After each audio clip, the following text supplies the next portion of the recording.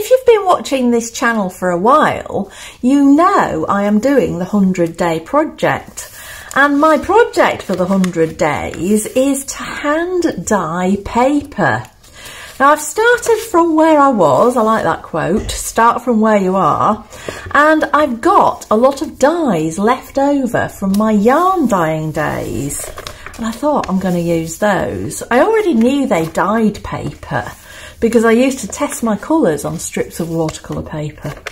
So I wanted to really get into this and see all the different effects I can produce and do it in a way that suits me. That was a quick flip through of days one to five and I've actually collected one sheet of each of those and clipped them together as a potential signature.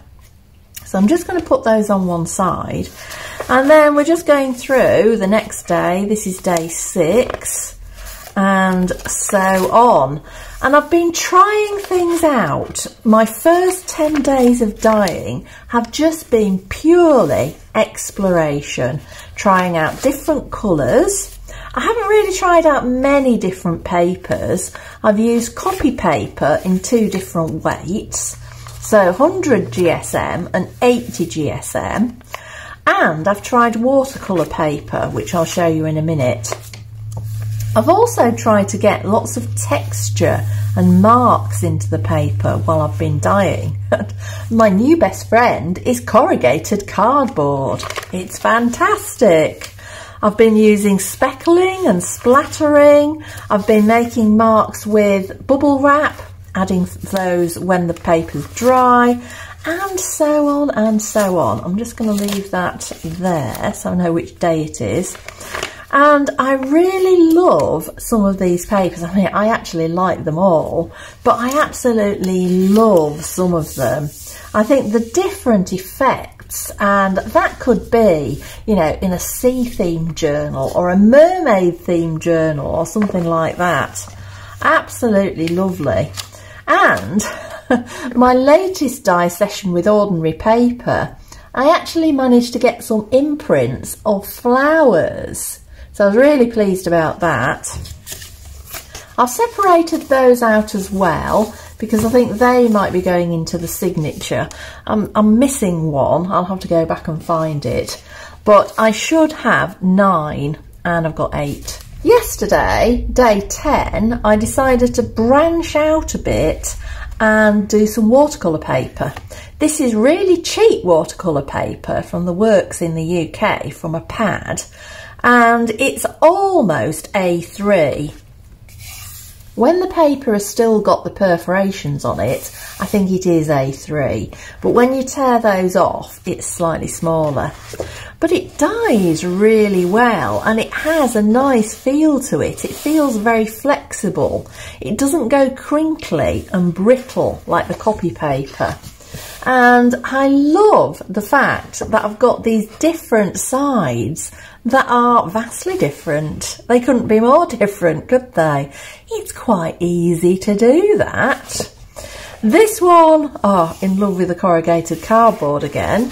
Uh, more different colours on the other side and so on. I think any of these watercolour papers would make wonderful journal covers.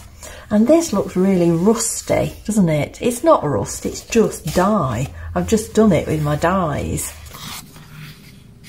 Now you'll have seen the video on Thursday when I made a masterboard and I made it from one of these papers. It was one of my earlier day trials with this paper and I decided not to mix the papers after that because I just loaded far too much dye onto one side and ended up something that I thought was not usable.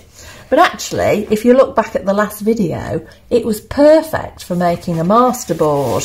For the first 10 days of the project, I did a short dyeing session each day, mixed some different colours, just experimented with what I felt like on that particular day and each session was maybe about 20 minutes and then I dried the papers overnight and looked at them in the daylight the next morning and that sort of got me thinking about what I would do in the next day's dye session. But after doing that for 10 days, I think I need a longer review and a reflect so that I can decide how I'm going to move forward and what I'm going to do next and pinpoint specific experiments that I want to do. I also want to plan to use some of the papers. I don't think there's any point in doing a hundred days of dyeing paper if I haven't actually done anything with the paper.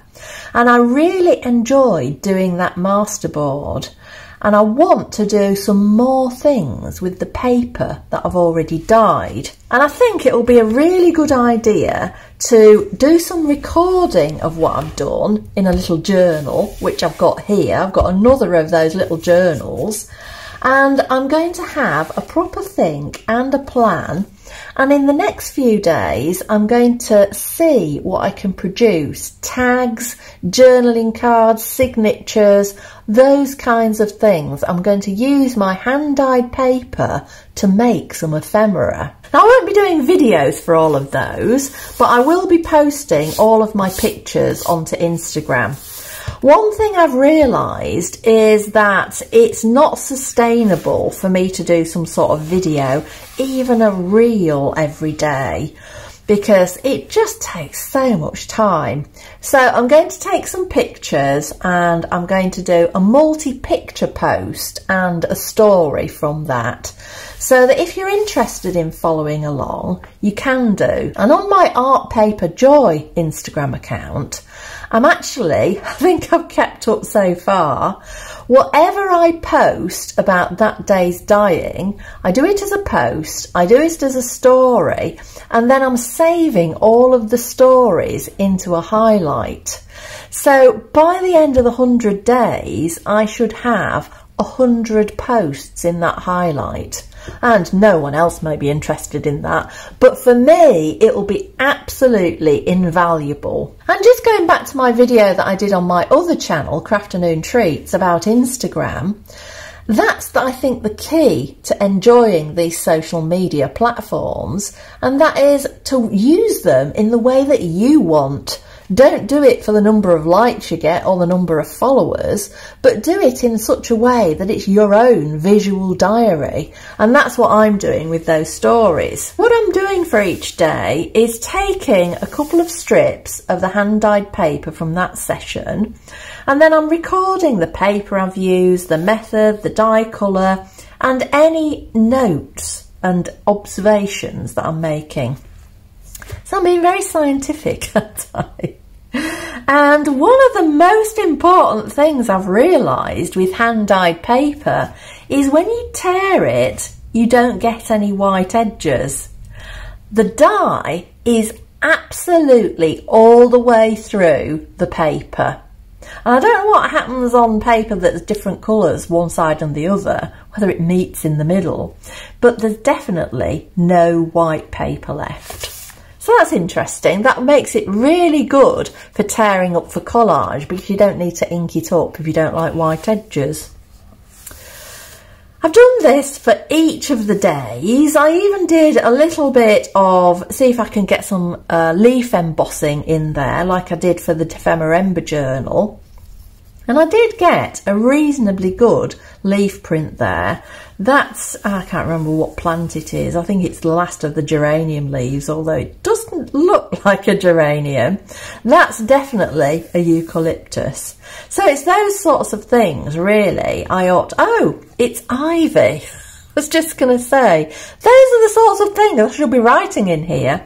And I have. So that's an ivy leaf and that's a eucalyptus. Some of the paper I'm using, I've used for other things and I've got some distress inks and some printing on there from my printer.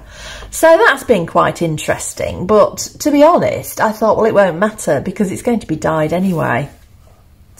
I love the different colours that I've got on different days and I'm really liking putting the journal together and writing in a way that's not exactly you know, wonderfully neat and fantastic, but it's a lot better than my usual handwriting. So this was day four and onwards, day five. It was quite difficult when I'd got all sorts of different colours on a day. I was choosing the dyes within the same colour family, but on this day I know that I got mainly darker browns and I've chosen this one as the example. But there you go, I liked it. I love these pinks and I love all the folds as well. This was a day when I went into greens and turquoises and blues and I was trying to get some little imprints on there from some little wooden butterflies and flowers and things like that. And there's a bee there. It didn't work particularly well, but I want to try and improve on that. I want to be able to get some better marks. This was the first time that I tried two colour and that, that I really like because I get different bands of colour within the same colour and then when the two colours overlap I get a different colour and then bands within the second colour as well. This paper I definitely want to do again and to explore much more because I folded the paper and then just dyed the edges and then dyed the middle. And it does weaken the paper at the fold and it's a sort of shibori style technique, I guess. If you're, if you know anything about dyeing fabric, shibori dyeing of fabric, it's a bit like organised tie-dye. But yeah, really think that would be something probably worth doing many dye sessions on that within the 100 days. Then I went back to the blues and the pinks and the violets and the lavenders. Really enjoyed doing those colours. And for the watercolour paper that I've just shown you, I actually took off some of the uh, serrated bits that I'd torn it out the book from. And I think they look really good. I love that pattern and having them dyed and on the edge of the page, I think is really quite effective. I'm going to go through now and I'm going to write my plans and then I'm going to share them with you with some examples. I've just made a quick list on the page of things to go through. The first one is whether to add alcohol inks or gel-like printing with bubble wrap. I did that on a few of the days. This is how the alcohol inks look. They're very vibrant and very discrete spots.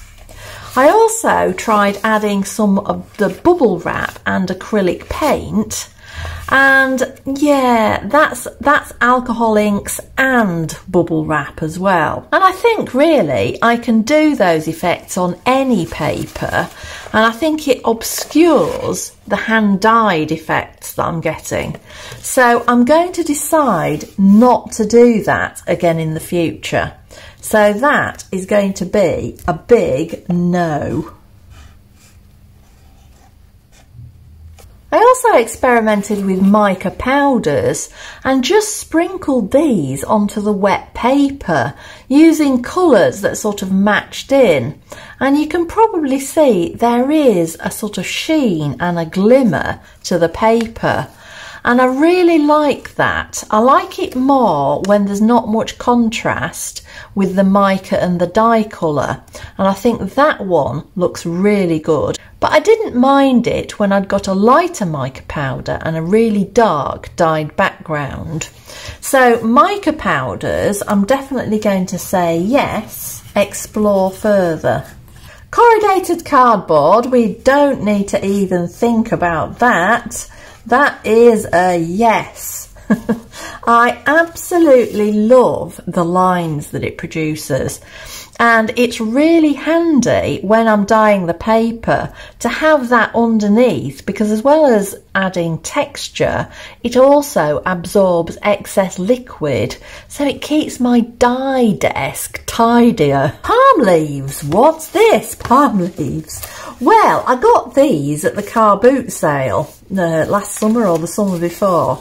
And they've been in the garage. I've never known what to use them for. And they basically are whole palm leaves that have been dyed and they come in a big A4 pack.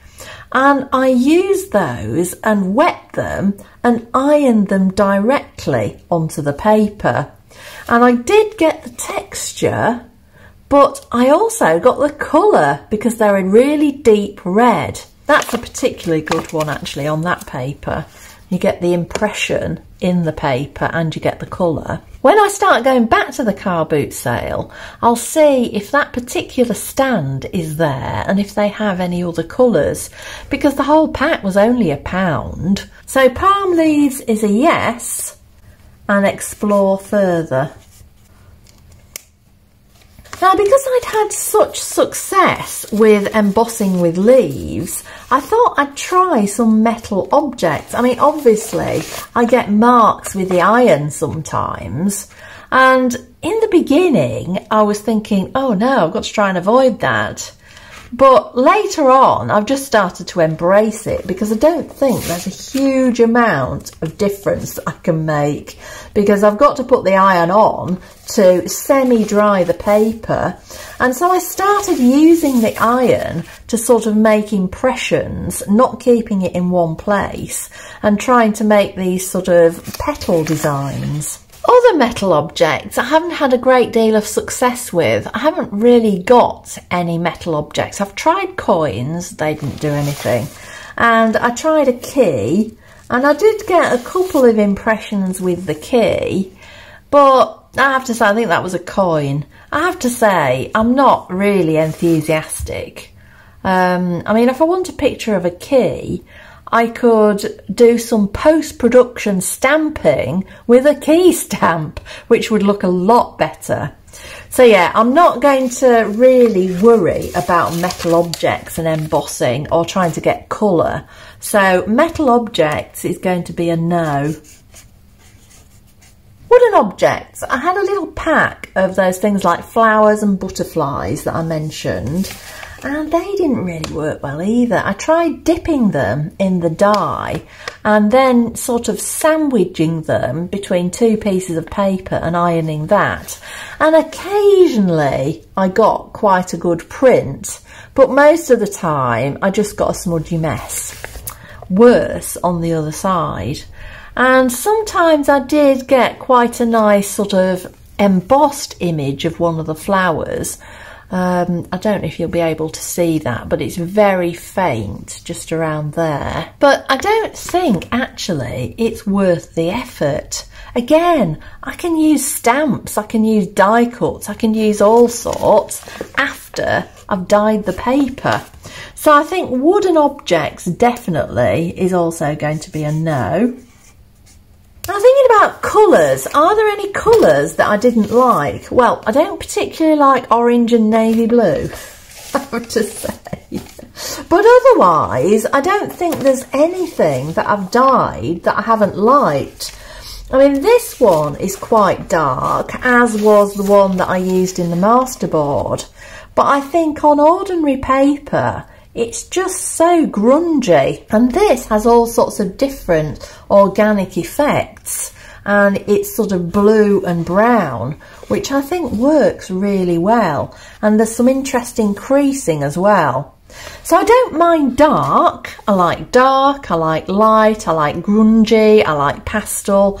I like it all really. So yeah, just keep experimenting, I'm going to say.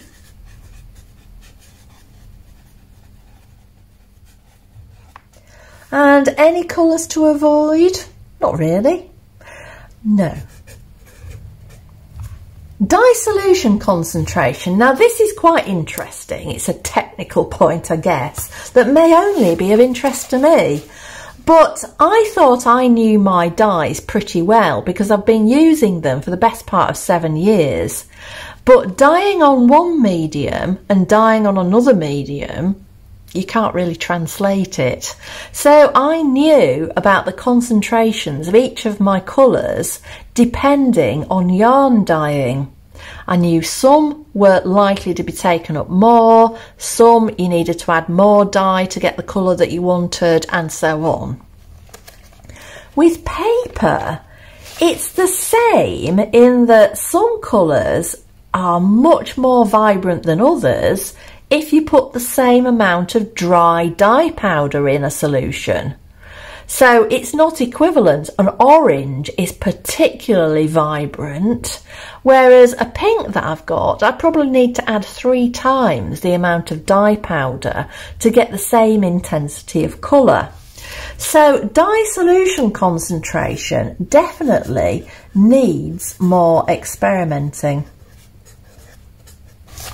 Splatters is the next one and this is a good example. I haven't done too many pieces of, of, like this where I've done, I've got some green splatters and then I've got some brown splatters over the top.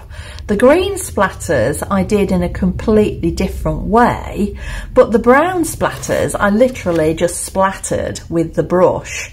So there are various ways to get a splattered effect and I like, I like the splatters, so I'm going to put yes, do more. Similarly, speckles, where you actually sprinkle the dye powder onto wet paper. I really liked the effect of that. And some of these I added salt to, some I just added the dye powder. And then I've added mica powder as well. So I like those effects. I must admit I didn't like the salt because when I ironed it, I was using quite coarse salt. When I ironed it, I tended to get holes in the paper. So for speckles, I'm going to put yes, do more. And salt, I'm going to put no.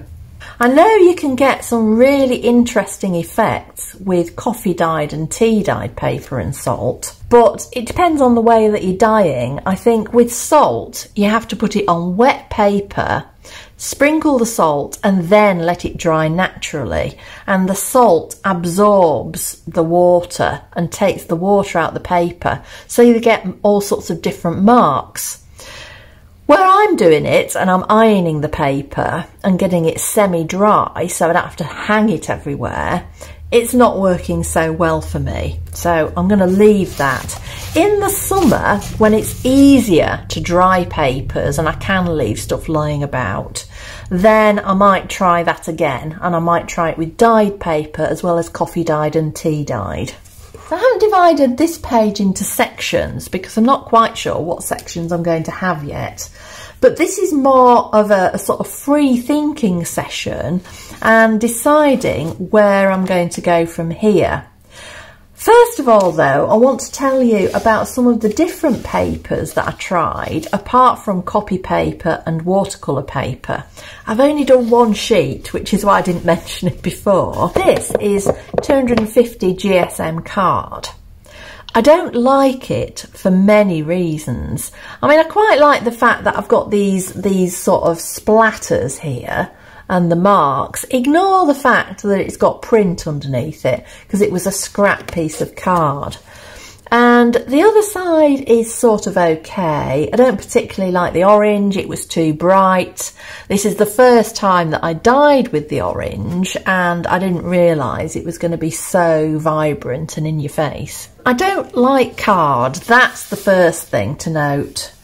No to heavy card.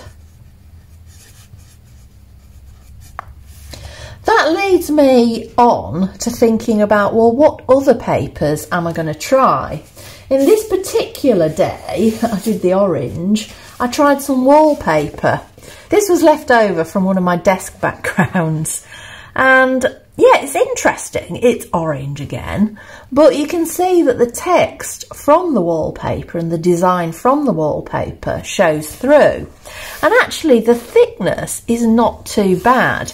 I've tried doing some stenciling on the back just to see how that worked and that did work quite well and I quite like the flexibility of the paper. So no to heavy card, yes to wallpaper. And I'm going to put do more. I also want to go thinner in all sorts of ways. But I'm thinking about paper particularly. So I'm thinking about deli paper, tissue paper and rice paper, not edible rice paper, which I've realised I have and is completely useless, but the thin rice paper. I haven't actually got any, so I'll have to source some, but I thought I'd start by trying ordinary tissue paper. I like the effect on the 80 GSM ordinary copy paper, and I think that will be really great for collage. Now watercolour paper, I did like the watercolour paper and I've already got quite a few sheets. I cannot see myself using huge amounts of it. So I'm going to put watercolour paper, restrict quantity, because otherwise I'll end up with a lot of it and unless I have a particular thing in mind that I'm going to use it for, like a journal cover, there's no point in dyeing it up. So that's the paper. That's all I can think of about the paper. I'm not worried about experimenting with colour. I'm going to carry on with that. But these two pieces of paper have made me think of something in that this was a scrap piece of card. It was some yarn labels from my yarn dyeing days and that was my Crafternoon Treats yarn logo and this was the description of the yarn itself. Now what I thought was interesting from this is that the colours here, that's in colour and that's in colour, the colours have run. They've almost disappeared. You can't even tell what they looked like. When the, when the card was in hot water and then ironed, it's just obliterated that design.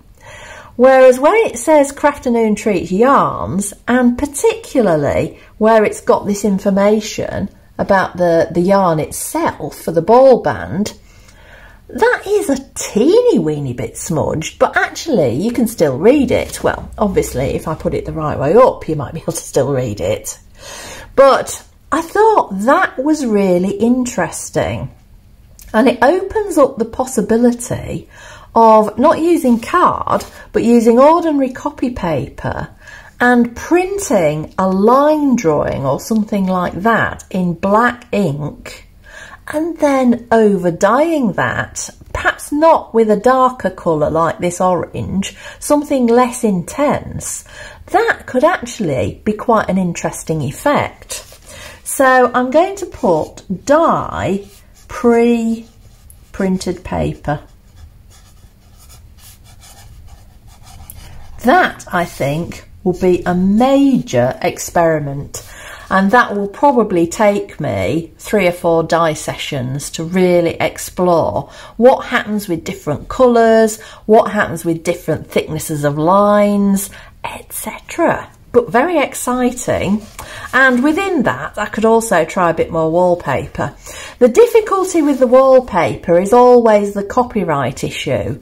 So if I wanted to use some of my hand-dyed papers as backgrounds, I wouldn't be able to use that because that is a commercial wallpaper and that is copyrighted.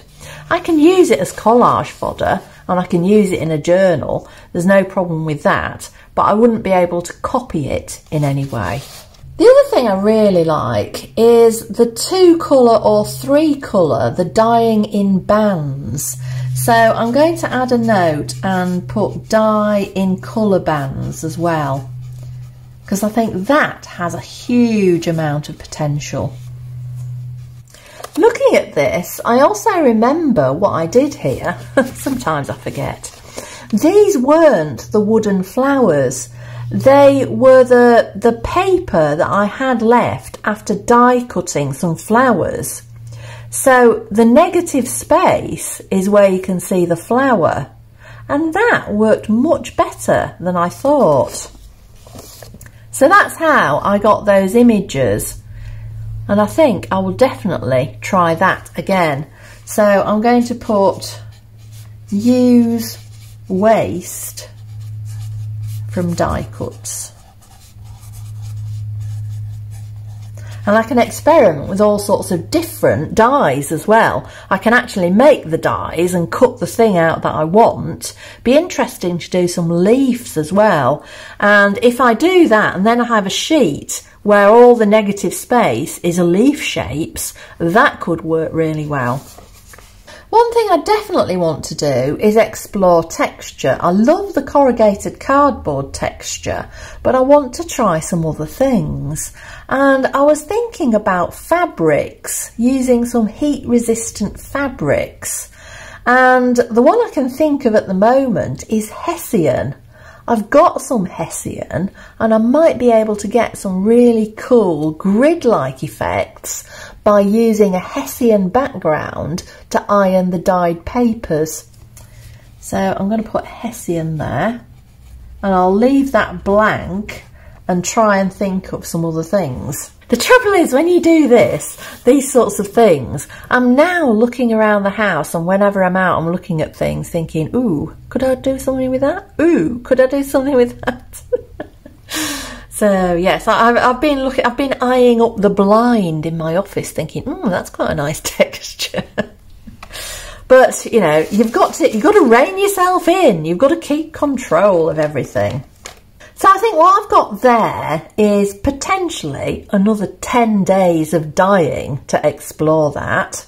And as I said, I want to use some of my dyed papers and make some ephemera for the next maybe five days. So I'm looking at resuming some dyeing around day 16 of this project. But that's what I like about this project. It's flexible and I'm doing it to learn more about dyeing paper. So I think dyeing in sort of 10 day slots and then having a few days to reflect and use the papers and see how they hold up to other treatments, that's all part of the learning process. And I will make much more progress than if I just blindly carry on now and think, right, I've got to do some dyeing today, I've got to do some dyeing today. It's not that sort of project. You are in control oh, well, I am in control of my project. You are in control of your project. So I'm left with this page and I think I'm going to leave that blank for the moment. I did like the idea of maybe cutting a very small square of one of each of the papers from each of the days and starting to make a sort of calendar of them all. I'll have to see if I can fit all 100. So I think that might be an idea for that page, but then the page after I will start and record some of the ephemera I'm making next week. So I'm going to call this day 12 because that's that's today, that's when I'm doing the video. And this is day 11, which is when I did my reflecting and planning. Now the only other thing I wanted to do in this video is very quickly put a cover on my journal. At the moment it's just plain black and like I did with the journal that I've made for practicing my hand lettering, I want to make a more interesting cover for this. And I thought something that would be ideal are some of the prints that I made from my masterboard on Thursday. I do have a couple of spare prints and I'm going to cut them to size and show you how this looks.